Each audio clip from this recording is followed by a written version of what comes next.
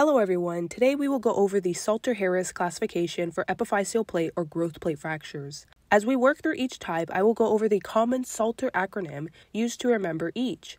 But at the end, I will go over another acronym that I have learned while shadowing in pediatric orthopedics that I think is a great addition. So to start, there are five types. Beginning with type 1, this is the so-called slipped fracture. This involves a fracture directly through the hypertrophic zone of the epiphyseal plate and involves no cortex and is the least worrisome of all of them. A type 2 fracture, which is the above fracture, involves a fracture extending into the metaphyses and is the most common of all of the five. A type 3 fracture, which is the so called low fracture, involves extension into the epiphysis below the growth plate. Type 4 is the through fracture and involves a fracture line that extends both above and below the growth plate, involving the epiphysis and metaphysis. Lastly, type 5 is due to a compressive fracture of the growth plate that leads to the so called ruin title, as the growth plate is crushed and is the most concerning of all of them. Now, the second acronym I was referring to in the beginning of the video is used to remember Types 2, 3, and 4 in more detail. Types 1 and 5 are left out of this acronym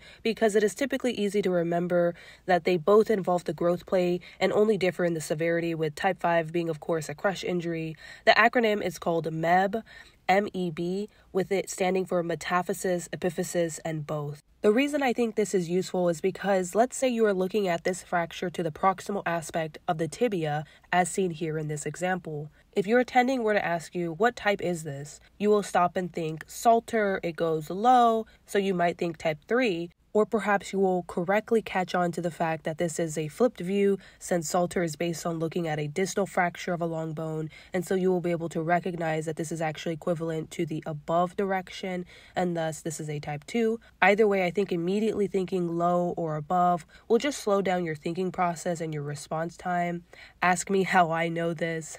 So instead, you could look at this and see that it involves the metaphysis MEB, so of course this would be type 2. Anyways, this is just something that I learned while on rotation that I think would have been great to learn sooner. Alrighty, that is all for this video. See you on the next one.